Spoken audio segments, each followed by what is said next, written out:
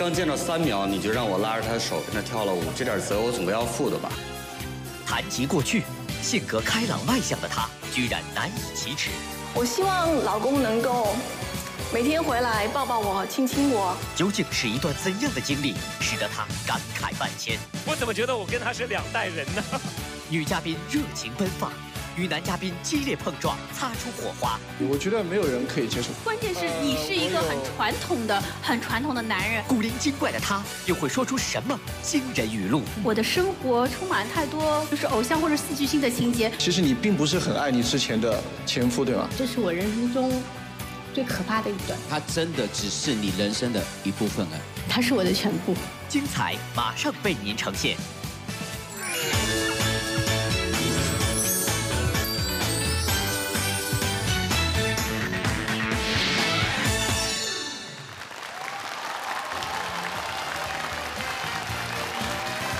伸出你的手。亲爱的观众朋友们，大家晚上好，这里是大型生活服务类节目《第二次握手》。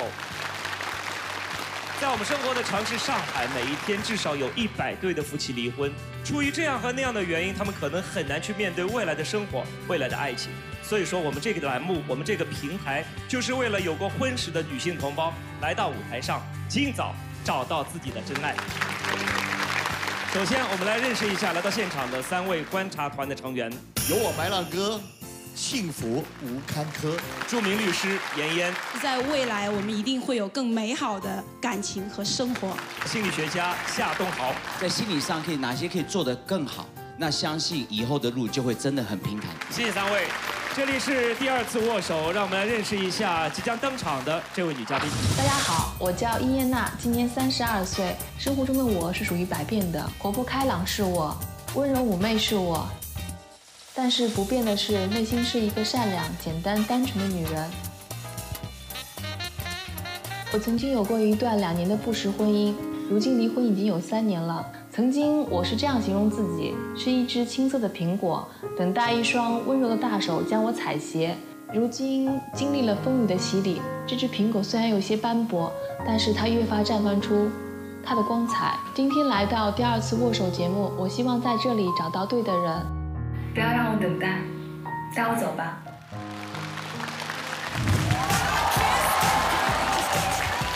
阿燕呢？那个刚看 VCR 的时候就觉得你的身段非常好，以前学过舞蹈吗？呃，没有学过。喜欢跳舞吗？嗯，喜欢。喜欢有一个男伴儿跟你一块跳舞吗？那最好了。喜欢韩国回来的男伴儿吗？哦，我怕韩国的男伴他那种机械舞，我还不是我我这风格。我给你介绍一个今天场上跳舞跳的最好的，那就是我们的十号男嘉宾，有请王先生。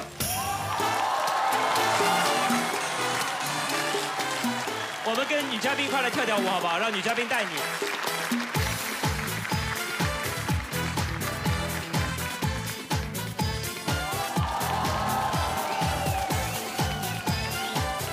不是，你再再回过来，再回过来，再再这样，对，这样子的，啊，这样。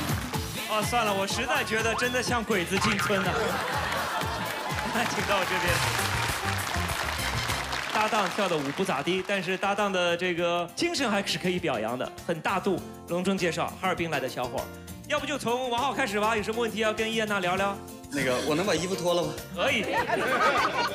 说实 话，十年十年没有没有这么去跟一个女孩这么近距离的跳舞了。OK，好，有什么问题？这样的，在下面看就是感觉很有点小高傲的一个女孩儿，但是真贴近了以后啊，我的心里面是很温暖的。那个，我问一下，就是我特别在意别人有什么爱好，你有什么？除了跳舞，还有什么更更什么爱好？其实我的生活很简单，我基本上两点一线吧。最近的爱好就是跳舞，还有就是学习书法。然后平时的我就喜欢收集一些小饰品，然后小摆饰，然后喜欢整理东西。嗯，还有就是喜欢收集一些一些怀旧的东西吧，就是别人给我的任何小东西，我都喜欢收集，包括电影票啊、旅游的门票啊。或者是别人偶尔给你的一张小纸条啊、明信片，我都喜欢收集。啊，谢谢你。来，我们有哪一位下一位男嘉宾来跟我们？好，有请九号。那你会介意就比你小小的男孩子吗？四岁之内吧。哦，你三十二是吗？对，你是上下四岁吗？不是下限啊下限我很在意这个属相的因为小我四岁之内的属相都是合的。OK，好，这个都是一个心理的作用。好，我得关心一下我们当中一直出跳的，但是永远没有解决自己大事儿的那个那个好人。三号属什么的？蛇。属蛇呢？嗯，可以的。哦，可以的。好，那我想问一下严严律师，你你觉得属相那么重要吗？不觉得这个属相和这个离婚率有什么直接关系，但是可能我们会有一些心理暗示，嗯、所以如果有这方面的小的要求，我觉得也可以有，但是不要过度。未必像我们以前我们长辈跟我们说六冲六冲一定会冲，人家婚姻健康的或者快乐的也多的是。对啊，所以事实上只有爱跟不爱。其实当你真的爱上之后，说真的，你也顾不上属相。是的，是的。是这样哈，是这样 OK。好，那我们来看看第一轮各位是怎么样选择的。来，请到我们前面。各位对于女嘉宾的选择到底是红灯还是绿灯？我们现场的观众朋友们一起来倒计时：五、四、三、二、一，请选择。只有两位是依旧亮着绿灯。我想问一下四号，你亮红灯的原因是什么？怪你，因为上来的时候你好像想让我上去跳舞，后来换了别人。这个小心眼的男人。其实，呃，他给我第一感觉很惊艳，很活泼，但是我觉得可能平衡点可能不是很明白。依旧亮灯的是两位，我们先来问一下十号王浩。上来刚见到三秒，你就让我拉着他手跟他跳了舞，这点责我总归要负的吧？谢谢啊。没有，姑娘确实性格特别好，就我觉得挺好的。我觉得性格也真的是很好，非常好。他性格特别单纯，就特别单纯，简单，没有啥心机。来，我们有请七号。坦率的就直接问吧，就是呃，您结婚之后没孩子是吗？嗯，是这样的，我有一段两年的不实婚姻，我不知道你理你理解吗？什么叫不实婚姻？我们没有很亲密的关系，呃，那你们没有实质性的夫妻关系，是因为你的原因，还是？嗯，是这样，是他对这方面好像不是很感兴趣。我想知道两年恋爱以及两年的婚姻生活当中，你有像 VCR 当中那样在房间里面就是给他去去散发你女性的这种魅力，有没有做过这种？你如果不选我的话，我觉得这道问题我没有必要回答你。因为我想说，其实从男生的角度来说，如果你能够做到那一点的话，如果他没有任何的反应，那我觉得应该去医院看一看了。说实话，在刚刚开始那段时间，我们俩很幸福，很开心，我们一起做饭，一起买菜，饭后我们会一起去散步，这都是我想要的生活。只是到了后来，肯定就是时间长了，就会发现我们这种亲密的关系似乎少了点什么。说不过去啊，因为那如果你感兴趣的话，一个月就发现了，为什么要拖两年？因为婚前的时候，嗯，我们一直就是比较传统吧，而且我对婚姻抱有很多美好的向往。嗯，我总觉得这一辈子就跟一个男人，嗯，可能也受一些传统思想的影响吧，我们都在恪守着，而且自己年龄慢慢的越来越大了以后，我也忽然很想要孩子，然后就越发凸显出这个问题好像有点不正常，这才意识到。当时我意识到了，他对象他跟我讲的时候啊，他谈了两年半，两年半他跟我说了那么一句话，他说妈妈，他从来没深情的看过我。嗯，他那么一说，我一直那个心就咯噔一下子。但是我一直是这样想的，觉得也许每个人对爱情的表达方式不一样，或许他是一种含蓄的方式爱我，然后总觉得人家孩子比较老实嘛，然后是那种就是正人君子的感觉。难道他都不会想跟你握手、亲吻之类的？你们牵手了吗？啊，牵手肯定有。你们看电影吗？有的。如果看电影的话，有没有看到那种激情的场面？你有没有会想？因为其实很正常嘛，有一个 kiss，有一个有一个 hug，很正常。你会主动一点吗？对，我会主动。他怎么办？我觉得好像有点敷衍吧。OK OK。那你你当时怎么给自己解释这个问题？我我一直觉得那就是爱，那就是他以另外一种形式来爱我。那假如说当年也有一个非常热情奔放的男人来追求你，你觉得你会选择哪一个？我我还会选择他。嗯，我跟我前夫，我们俩关系很好，在一起有时候会无话不谈，像朋友一样。我从来没有说是因为经济呀、或者是其他一些生活习惯不吻合啊，产生摩擦吵架。嗯，只是因为这一点有点美中不足的事情。那不就是闺蜜吗？不，不是啊。这个男人是你的初恋吗？嗯，不是，之前也有，但我总觉得，我希望对方能尊重我吧。你觉得之前那个男人 kiss 你不尊重你？不是，不是，不是，就是感觉好像，嗯，就是对你动手动脚，就会觉得，好像这个人不是好人吧。然后所以遇到我的前夫的时候，我就会觉得他很尊重我，但我忽然发现是我自己的意识误导了自己。我觉得他是启蒙太慢了，所以有些东西没有意识到。大家从小父母教育要教育的好，好吧？就是动手动脚不一定是坏人，对，说明说不定是正常人。他那个观念是是有问题的，怎么会动手动脚就是有有有坏人的这个想法？情到浓时嘛，对不对？就是没有想那么多，反正我觉得经历过这些事情了吧，我觉得自己也明白了，什么是正常的男人，OK OK 啊，有没有后悔？长了，也没什么后悔。是爱过嘛，对不对？没有没有没有关系。好在你已经走出这一段婚姻了，对不对？而你现在想找一个非常正常的、对爱你的，也是你爱的一个这么好的一个先生，对不对？对于未来的另一半，你你你有怎么样的设想？其实我是一个恋爱中很粘人的人，而且就会想小女人。我希望老公能够每天回来抱抱我、亲亲我，我也希望在他怀里撒娇。我很喜欢那种被男人呵护的感觉。如果找到一个合适的，再一次步入婚姻殿堂，你之前会做一些什么样的铺垫吗？那我我这一次肯定会要试婚吧？我觉得这建议很好啊。是。那我先问一下男嘉宾好，婚前呃愿意试婚的请举手。啊，我觉得试婚来讲，不光是怎么讲，因为整体，因为很多个性你不住在一起，真的不知道。其实我觉得“试婚”这个词啊，可能不太妥当，但是我觉得我们要尝试着让两个人共同的生活看看，磨合一下，甚至两个家庭来磨合一下。其实我觉得对于成年人来讲，试婚未必是件坏事情，但前提是双方要达成一个默契，不要以耍流氓为性质，因为奔着结婚的目标向前进。我们希望你可以成功，好吗？我们最后一次选择，看一看结果是怎么样。来，有请。对于伊安娜的选择到底怎么样？我们还有两位，我们一起来倒计时：五、四、三、二、一，请选择。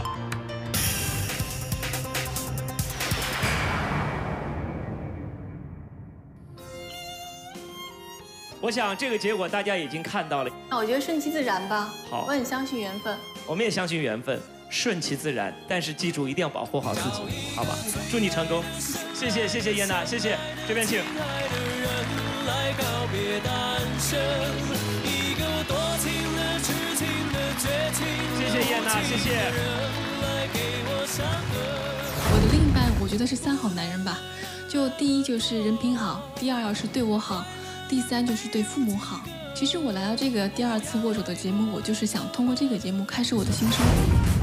欢迎回到现场，这里是第二次握手，让我们通过大屏幕来了解下一位女嘉宾的资料。大家好，嗯，我叫朱华，呃，目前在一家电子商务公司担任商务，呃，我的年龄在二十五岁以上，三十岁以下，具体年龄大家可以去猜，这是一个小秘密。平时的兴趣爱好是空手道，嗯、还有口琴。来到这个节目，我最希望能够见到自己的心仪的对象。当然，我觉得对于年纪大一点的男生，我觉得我不太会介意。呃，如果大家他们对自己没有信心的话，有点秃顶的话，我觉得没有关系。我希望他能够是个光头，然后是有万丈光芒的感觉，让我感到很安心，这样会很有安全感。个别喜欢是有胸肌的。我是一个大女人，你愿意做我心目中的小男人吗？让我们欢迎重口味的女嘉宾朱华。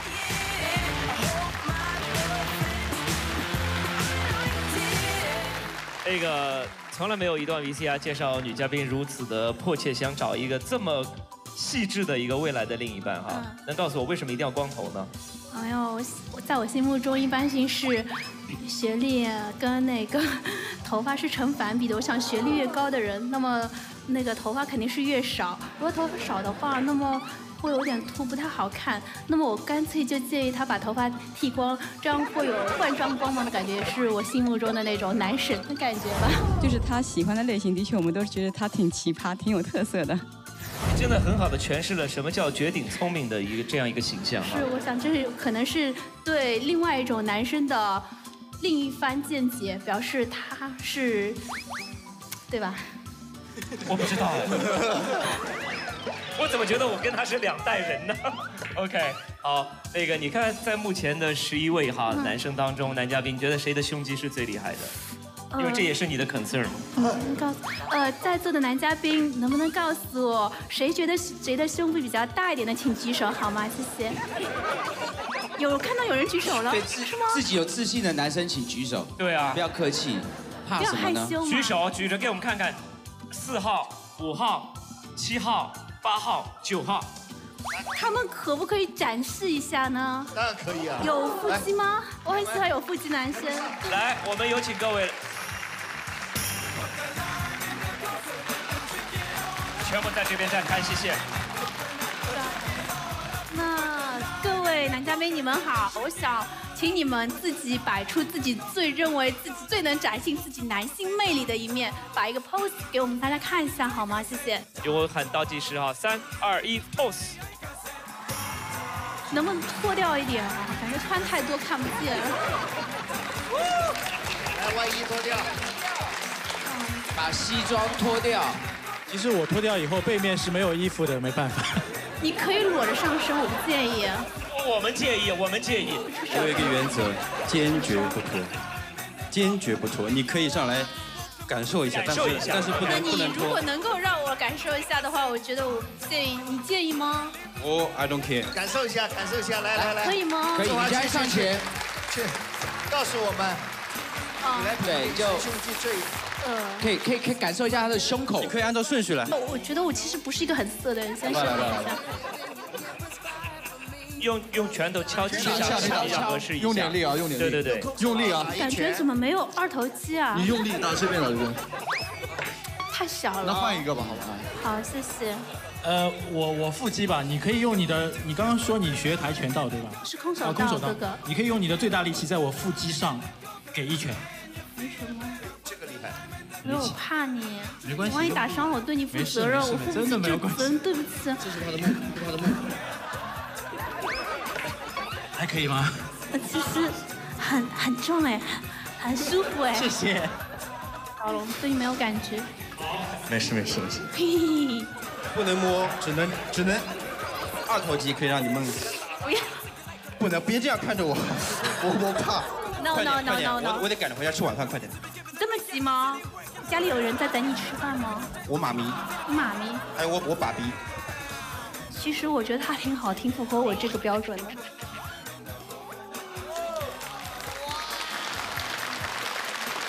你就不考虑了，太瘦了。我跟你说，别看瘦子瘦，脱出来都肌肉。我给你一个福利啊，他们都是给你敲一下，我让你整个手能够碰上去摸，触碰，可以吗？我不太希望这种触碰太接近的感觉的话，我怕我会害羞。瘦了，谢谢。呃，哥哥，你绝对很好，但是我相信我 hold 不住你。好，谢谢各位，来。中华是不是平时就很喜欢那种肌肉男呐、是啊，也许他爸爸就是这个类型的吧，而且有可能他觉得有肌肉的男人有安全感吧。呃，打开电视不要被吓着，刚才是一个互动，呃，因为我们的女嘉宾呢，对于这个啊、呃肌肉男有一个特别的喜好，对不对？是那你为什么喜欢肌肉男呢？肌肉男，我觉得男人必须要有强壮的体魄吧，这样子的话，我觉得才能保护好他心中的女神。女嘉宾你想感受一下什么叫真正的肌肉吗？你如果愿意展示，我很想期待，我很期待想看啊。那我先上来好不好？行，邵雨华，你想怎么样？呃，女嘉宾想不想坐过山车？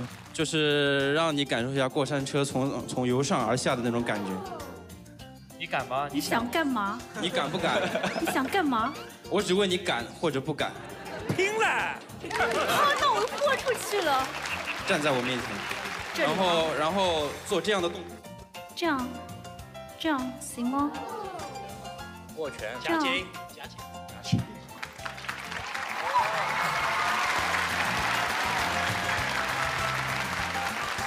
不错，还行吗？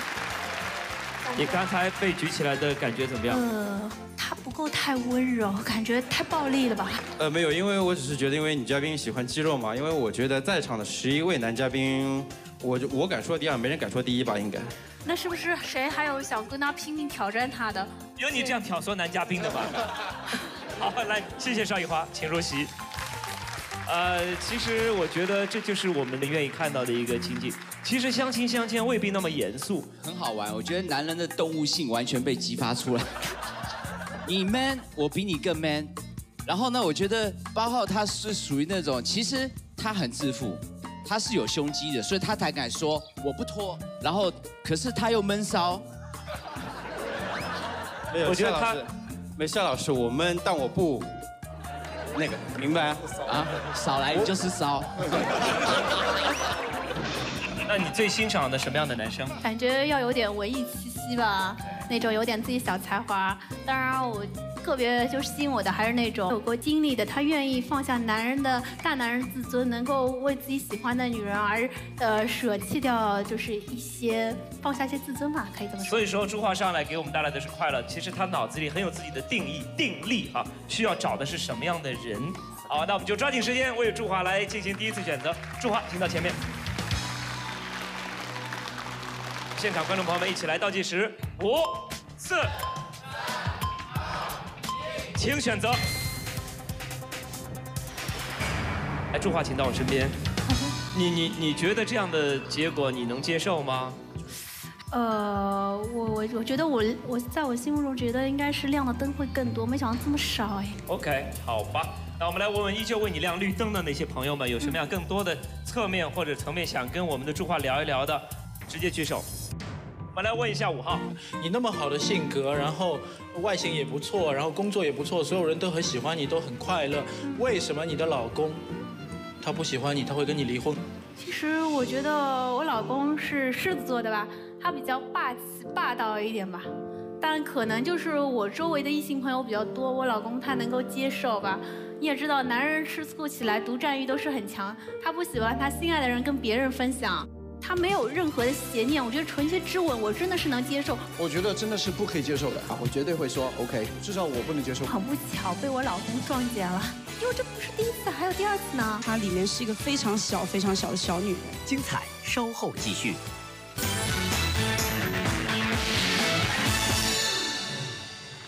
你那么好的性格，然后外形也不错，然后工作也不错，所有人都很喜欢你，都很快乐。为什么你的老公他不喜欢你，他会跟你离婚？其实我觉得我老公是狮子座的吧，他比较霸气霸道一点吧，但可能就是我周围的异性朋友比较多，我老公他能够接受吧。你也知道，男人吃醋起来独占欲都是很强，他不喜欢他心爱的人跟别人分享，他认为我是那种，嗯，让他没有安全感的女人吧。我想问一下，因为我，呃，我自己跟异性也很好，嗯，但是也不至于会到前女友讨厌的地步。那你能举例嗯你的前夫对你异性好哪些的举动，他到抱怨的地步？呃，比如说吧，我有个朋友他失恋了，晚上会半夜里面一两点钟打电话吧，会向我倾诉他失恋，男的女的？哎，异性。男的，OK。对，在我心中还是朋友第一的吧。我觉得我会听他哭诉呃哭诉吧，但是我觉得老公先放在边上摆一摆。但是老公说影响他睡觉了，但是你不可能就是说啊，我老公重要，我不可能说啊不好意思哦，因为我老公要睡觉，你打扰到他，我去安慰他。那我肯定在想。我朋友伤心，那我肯定先把朋友安抚好，然后再去安抚我老公，让我老公睡觉，对吧？等一下，我相信你这次事件，但是我不相信的是，只是发生这一次，对对就造成离婚原因。我我也不知道为什么，我我觉得我的生我的生活充满了太多就是偶像或者戏剧性的情节。比如说，比如说我有一个好朋友吧，就生日的时候啊，他想，就是想要就是想亲我一下之类的。我在想，就是有男生主动献吻嘛，那我说行啊，反正你这么大人，三十多岁从来都没吻过别人，那我说我就成全你一下吧。但是我没告诉我老公，但是偏偏这一幕很不巧被我老公撞见了。然后我老公以为我背叛他，但是其实我觉得没有啊。我觉得好朋友就是说男生之间亲吻很正常，亲哪儿啊？当然是小嘴啦。别这么惊讶，很正常啊。因为这不是第一次，还有第二次呢。还有一次啊，说啊、还有第二次就是说，我觉得，呃，我有一个朋友是外国的，那么是可能是意大利人嘛，他们那边国家都很热情，你问问他跟他说话，然后他们都喜欢 French kiss，呃，可能中国人不能接受，但在老外的眼里，我觉得这是很正常的，就相当于一种礼仪吧，我觉得很正常。别用这种眼神看着我。没有，其实我我我真的很好奇，难道你第二次 French kiss 也可以给你老公看见了吗？呃，很不巧，也是被他看见了。为什么？因为在不该出现的时候出现呢？呃，你觉得是不该出现的时候吗？如果我们说异性好朋友之间，我们可以用一个吻表示祝福或者表示友好的话，为什么不可以当他的面呢？如果你觉得这是老公比较很正常的，小心眼嘛，感觉他，我就我我特别因为怕他吃醋，所以我不想当着他面。如果我觉得他不介意的话，那我可以当着他面，没有问题啊。那你那反过来讲，如果你的先生介意的话，你有没有考虑为因为他介意，所以你约束一下自己交友的方法？呃，我觉得如果是真的好朋友，我觉得只要是朋友之间，他没有任何的邪念，我觉得纯洁之吻我真的是能接受。如果是不纯洁的之吻，我坚决抵抗，坚决不吻。那个女嘉宾，我帮你问一下好不好在场十位兄弟啊嗯，你们如果能接受这种行为的，举手好不好？这个我觉得不要是礼说，仪。这个不是礼仪不礼仪，我觉得没有人可以接受，至少我不能接受。就是说你要知道有一点，呃，每个人都有一个底线。嗯。那不是说邪念不邪念的问题对，你首先这样做，我觉得不太合适。其实要看你在哪个国家，如果在欧美国家，这是很正常。我们是中国人，西方是西方的礼仪。我也会尊重友人们的国家的习俗吧。你可以让他们也尊重一下中国人。但是我觉得，关键是你是一个很传统的、很传统的男人，你不能接受你这个和传统不传统没有任何关系。我在国外的话，那一般也就是脸颊贴着脸颊，这是礼仪，没有恶意。我只是想告诉你，可能这种方式，如果站在你男朋友或者呃前夫的角度来说，我觉得真的是不可以接受的。其实我觉得我已经尽量减少见面了，基本上不太见面，所以电话见面这也是保护我老公的最好的方式。哦，女嘉宾，我觉得是这样子的，如果你要跟这个男的。就好像说认识的朋友也好，游戏也好，人家过生日也好，人家提出这样的要求，跟与你有有一段 case 这样的一个情节，你可不可以预先跟你老公打声招呼？我觉得这样事情的话，你可以大事化小，小事化无。这是一个如果很好的如果你是她难道老公的话，跟你打招呼，你会愿意吗？对，你会同意我打电话，吗？老公，我可以吻他吗你你你会如果你是我的老婆，对你跟你很好的友人出去嗯聚会，有一个这样的情节，你给我打个电话，我绝对会说 OK。对，可惜你为我亮红灯了。因为我觉得跟一个外国人或正常的这个异性，或即便是中国人，亲亲脸颊，我觉得很正常。对。但是如果是一个 French kiss，我觉得呃，对于中国人来讲嗯是违背也好，或者是不合乎常理也好，嗯这种呃所谓的在我们传统的道德观念来上不能接受的，我不知道作为一个女性同胞，妍妍你怎么看这个问题？我也是一个非常大女人的呃姐姐，甚至我身边可能了解我的人都知道，我在外面经常是和男生勾肩搭背的。但是我的原则是，大家只是在好玩，而且是在我先生在场，大家全都是朋友的情况下，那我觉得说没有问题。我先生就是狮子座的，没有问题。可是如果你有遮掩，比如说你们两个私下里面有这样的，你有要求，我有回应，周围没有见证人，也没有人去证实你们之间的清白。但是我不，就比如说我跟他的友谊，我觉得只要两个人认可就行了，不需要第三方去见证。呃，朱华，可能今天今天我作为一个前辈吧，可能有点咄咄逼人，但是我希望是当头棒喝，让你知道，去体察一下离你最近的那个旁边的你的亲人，甚至是很爱你的那个人，他的感受。其实啊，其实我们这个节目也好，我们这个平台也好，是给过有经历的、阅历的女人再一次找到自己的幸福。是。那其实说实话，我们包括我在内的三位观察员，四个人永远是站在呃女性的嘉宾来为他们出谋划策。是的但是有一点点我恕我直言，我们今天有点语塞了。因为其实有时候自己的快乐一定是最重要的，嗯但是也要顾及一下周遭人的一些情感的一个感受感受，特别是你最亲的人。对，所以我觉得在呃离异之后，我还是考虑，我觉得还是有一些地方是有点对不起他，是我做错了，但是我觉得我还是比较要面子的吧，我不会在他面前承认我错。我这样讲好了，夫妻之间除了学学会感恩之外，一定要学会道歉、认错，好不好？来，你你试试看哦，你现在试试看讲这句话，就随便讲，就对不起，我错了，你能讲得出口吗？呃，对不起，我错了。来，给他掌声鼓励一下好不好？呃，我觉得谢谢夏老师，他能够讲这些话已经很不容易了，因为大家看到一上台到现在一直是大大咧咧的一个，说实话打双引号哈，就是没心没肺的一个女孩的形象。没心但你没肺吗？对不起，我错了。但是真正讲到自己的情感的时候，你看她还是蛮伤感的，而且我真的没想到你会流泪，因为我觉得你是一个很坚强的女人呃。不是不是，其实我还是，我觉得宁愿听你说我是个小女孩，我心里会感觉舒服一点，感觉是，但是是挺甜蜜的。甜蜜的时候会让你感动的落泪，但是我感觉生活还是必须得向前看，不能向后看。既然既然已经走出来的话，那我不能再回首过去。但是想想。我如果会想过去，但是我想过去，我只会想两人在一起甜蜜的一面，我不想想去忧伤的一面，所以我觉得我会向前看，但是我不会向后看那种人。朱华是个内外不太一致的人，他外在表现出来他很呃豪迈，那其实呢，她的举手投足，我觉得她里面是一个非常小、非常小的小女人。嗯，因为不管怎么样，人都会有缺点，人都会有别人不同意或者不不赏识的一面，但是我们就保持一个自我，没准人家就喜欢你的单纯的，是吗？虽然我有点二，还好啦，我觉得开心就好。我们今天最后一次看看男嘉宾们做一些什么样的选择，只要自己开心没关系，好不好？谢谢来，朱华，请到这边。好。我现在为你亮灯的还有五位的男嘉宾，我们来最后进行各位的选择。我们现场的朋友一起倒计时，五、四、二、一请选择。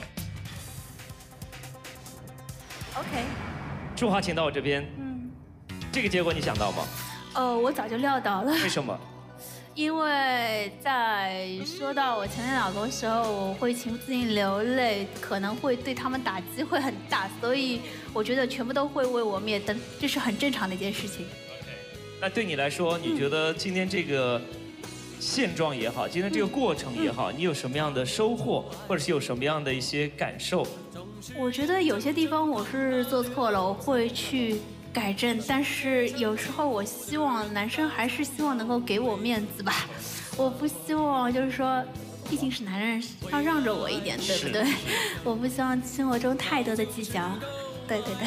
我们建议现场的观众给朱华一些掌声，好不好？来握握手，祝你成功。希望有一个头发不是那么多，最好是一个秃顶的男人，有阅历的男人，也有文艺范儿的男人喜欢上你，好不好？谢谢你，祝你幸福。谢谢谢谢这边请，谢谢。好，谢谢。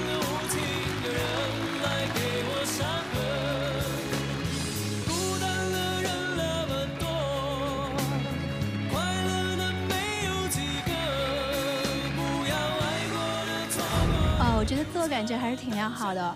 呃，平时呢也是第一次这个上台，所以呢，我觉得我不知道表现的怎么样，但是我自我感觉自信的女孩子才是最美的。欢迎您回到现场，这里是新娱乐为您呈现的第二次握手。我们通过大屏幕来认识一下下一位女嘉宾的资料。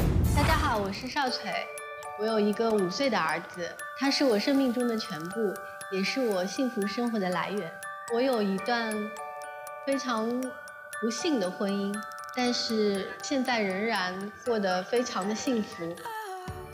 我喜爱摄影，我是一个典型性的上海姑娘。我希望在这里能遇到心目中的那个他。其实我一直在这里等你。欢迎少翠，来，请到这边。刚才 VCR 里介绍说你非常喜欢摄影啊，喜欢到什么样的程度？啊、其实它是我的副业，你专拍什么样的一些状况活动秀啊、杂志、？OK，婚礼都有。你需要男模特吗？呃，如果是你的话，如果是他们的话，啊也可以。OK，呃，十一位男嘉宾先问一个问题啊，谁也是一个摄影爱好者？哦，有一个人真的是自告奋勇，你希望是一个人拍还是两个人拍？一个呃两个人拍。请上台。说实话，见过脸皮厚的，没见过这么脸皮厚的。作为一个互动吧，好不好？我们大大方方两个人一起来一张结婚照。不要不要不要紧张，开玩笑了。听我口令哈，我说开始就是一二三哈，预备，开始，一，二，三。头两个动作都是男嘉宾带头，女嘉宾跟着，非常的合合拍。第三个人家带头了，你一点都没有默契。哦，这样吧，这我就是再补一个补一个吧。很多事情可以补吗？下去。我们一直觉得这个可以考虑，是吧？嗯，你是从哪一方面感觉他们俩很般配呢？呃，就是整个外形和年纪都还比应该算比较符合少锤的心仪的条件。还有哪位男生？好，我们有请四号。女嘉宾你好，你如果以后男朋友的话，你会要求他也跟你一样去学习这个摄影吗？愿意学，我可以教你啊。那如果像我们二号男嘉宾这样，对外形比较俊朗的话，你可以就是说会愿意去拍吗？就是说拍他，你会啊愿意去拍吗？会啊，如果你要求的话，我也可以拍你啊。哎，你为什么不能指使对方拍自己呢？我不喜欢别人拍我，真的啊我喜欢拍别人。我其实我也喜欢摄影。OK，那我想问一下专业摄影师哈，从摄影师或者摄影家的角度来讲，我们一号到十一号男生，你觉得谁的轮廓拍出来是最帅的一个？没关系，我后期修的很好，我可以帮你都修成刘德华。好，呃，我们来问一下二号。我刚才听了女嘉宾的讲话，我发现她说她对摄影的话比较喜欢记录人，对吧？对。那我想你应该对自己的过去这段历史应该有很多的记录，对吗？我的过去是一段闪婚的经历，对。所以我们没有出去旅行过，也没有太多的合影，只是有一本过去的婚纱照。呃，我觉得看上去有点小，因为少腿的话，他还是喜欢成熟稳重一点。那简单的经过第一轮之后，我们对于这个我们的女嘉宾有一个初步的了解了，我们进行今天的第一次来选择了。来，有请来到前面，我们要对少腿做出第一次的选择，五、四、三、二、一请选择。面对性格直爽的少崔，会有多少男嘉宾为她亮起绿灯呢？这是我人生中最可怕的一段，它真的只是你人生的一部分啊。它是我的全部。我想问一下，如果我今天不能跟你牵手的话，你会不会留微信给我？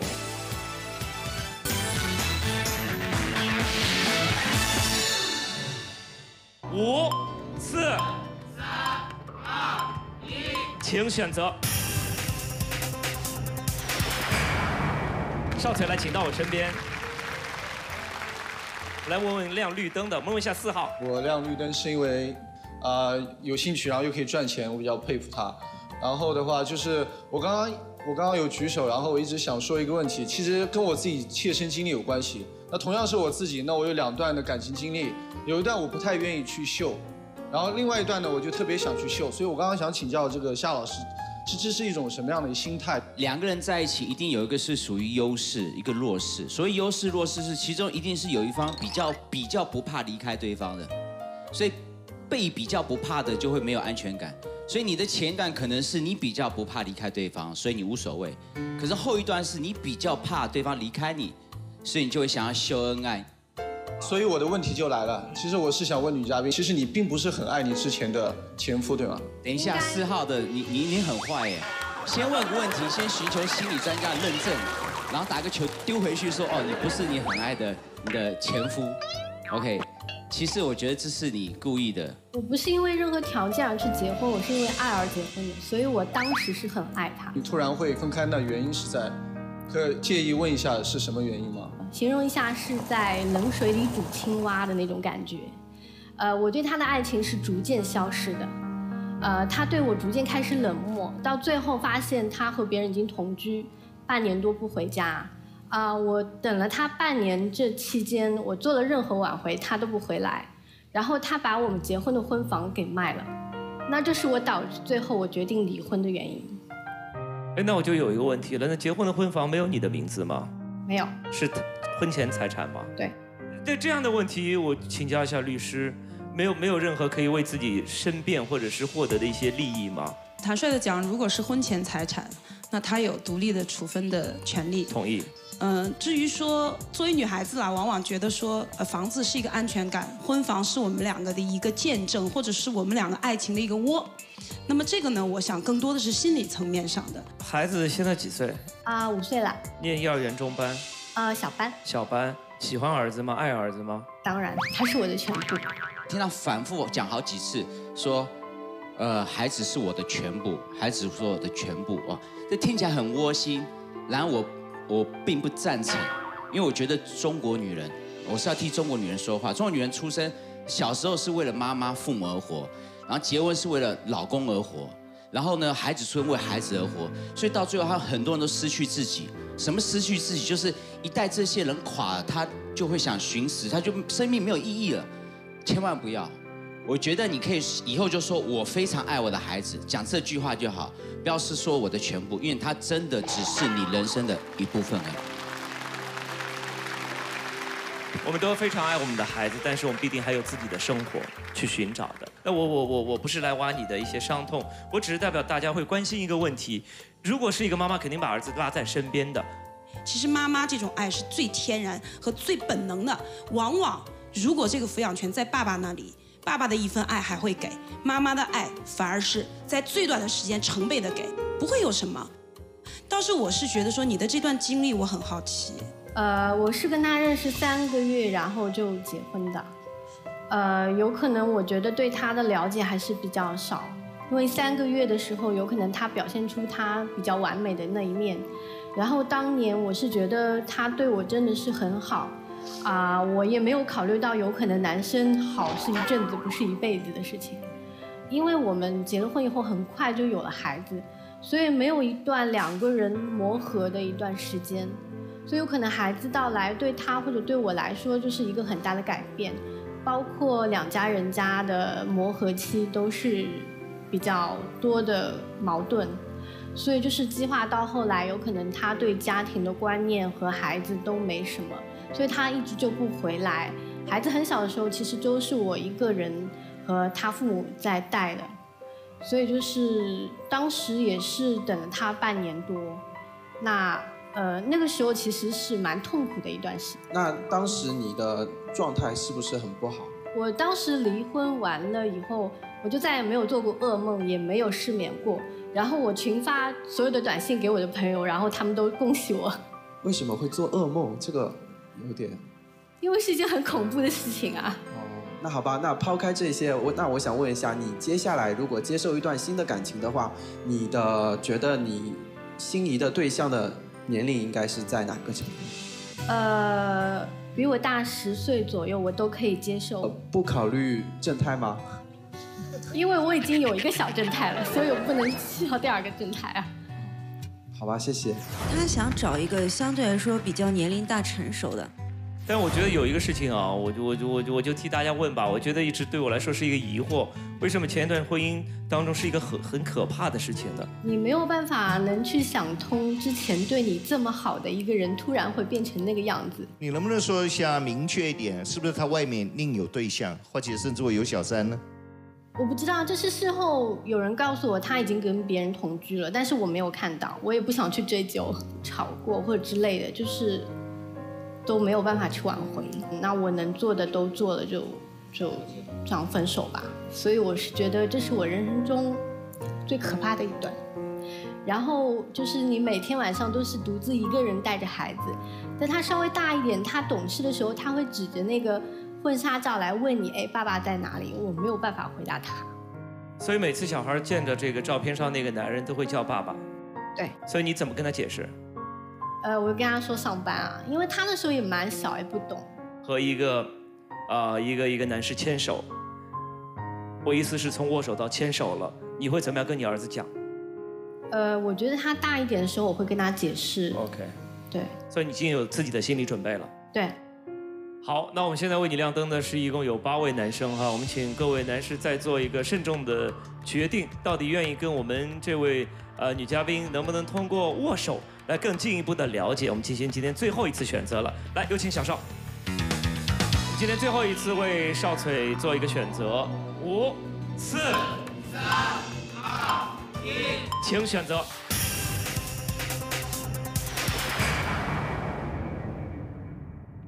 现在为你亮灯的只有一位，那就是一号。来，有请一号来到舞台上。谢谢你的坚持。我们说任何事情都是从缘分开始的，那能不能握手就看你最后的表白了。呃女嘉宾你好，你前面说的很多话和我的感情经历非常非常的相似。我的前妻呢也是这样，生了孩子之后呢，整天不回家，人都看不到，不知道日本啊、英国啊、美国啊，都是飞来飞去的，真的找不到。后来呢，就是因为时间长了之后呢，大家就慢慢慢慢的没沟通，我呢就一直带孩子，呃，接下来就开始呃积极的那个商议离婚的事情。还有呢，就是你前面说到喜欢摄影，我也我也非常喜欢摄影，把这些看到的美好的事物呢，呃，深深的印在相机里面，以后老了之后呢，拿出来再看一看，慢慢的咀嚼，慢慢的回忆，呃，而且你需要就是大几岁的对吧？我七六年的，呃真的真的，我真实年龄是七六年的。那你平时还有虚假年龄吗？一看师姐就是一个老实人哈。好，那么师姐你还有什么要补充？呃，没有补充了。如果你感觉可以的话呢，呃咱就牵个手，对吧？但是握手、牵手就表示这事儿定了。对对对对对对，就握个手。你感觉呃我不行的话嘛，那就那就那就那就挥个手。我想问一下，如果我今天不能跟你牵手的话，你会不会留微信给我？不留。这样的性格才能压得住我们少璀。少璀就是你凶过他，他就温柔了。今天他上去三连拍也好，五连拍、十连拍也好，我我从他那个就是，我看到了小可爱，你知道吗？我刚才就觉得，原来师杰这个都快四十岁的男人那么可爱，而且说心里话，今天他特别勇敢，可能他的经历会跟你有一些相似的地方。嗯，我希望你们如果不能握到这次手，也可以成为朋友。我感觉就是没个这必要，谈就谈，不谈就不谈，没什么了。因为我们在强调，我们这个节目是握手，不是牵手。如果今天要私底下交换微信的话，那就不用来了，你们私底下交换微信了嘛。换句话说，握手就是，如果你有想交换微信的欲望的话，拜托你握个手，好不好？对了，这个翘边跳得太好了，我们掌声热烈点，也是送给我们女嘉宾的好不好？我们接下来时间就留给我们的小邵姑娘了。五、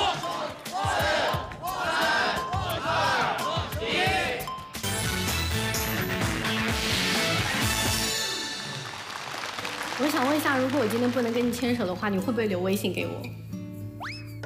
不留。我感觉就是没个这必要，谈就谈，不谈就不谈，没什么了不得的。我们接下来时间就留给我们的小邵姑娘了。五、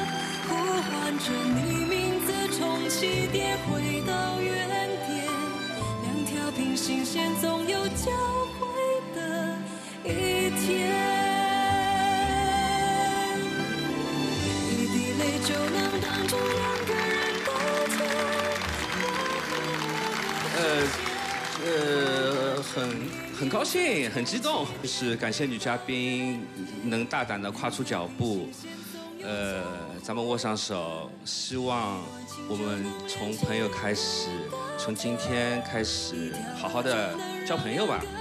太棒了！我们再次把掌声送给两位。从握手开始，期待尽早的可以牵手。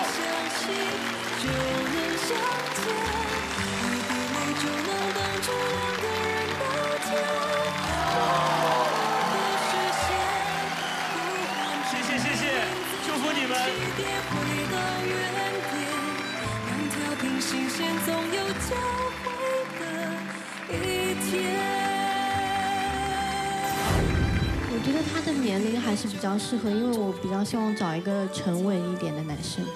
蛮好的，真的蛮好的，呃，很高兴，呃，这是那个女神的亲友团呃支持我，呃，支持我们，呃，在一起。祝福你们二位今天能够成功的握手，希望你们在将来的路上能够幸福的一起走。这里是第二次握手的现场，再次谢谢您的收看。我们今天来到现场的所有的男女嘉宾都将获得由来一份提供的幸福礼金狮礼盒一份。同时，握手成功的嘉宾将获得由九阳股份有限公司提供的时尚主妇的套装，其中包括一台料理机和一台电炖锅，以及由 K 歌之王专享派对与美食。特别感谢 K 歌之王提供的温暖派对的套餐。那么今天在现场没有牵手成功的所有的女嘉宾的资料，我们会发布在我们的节目官网上，我们的网址是 i 点一 channel 点 com 点 cn。我们的微博和微信的账户分别是新娱乐第二次握手和第二次握手。再次谢谢您的收看，下周同一时间再见。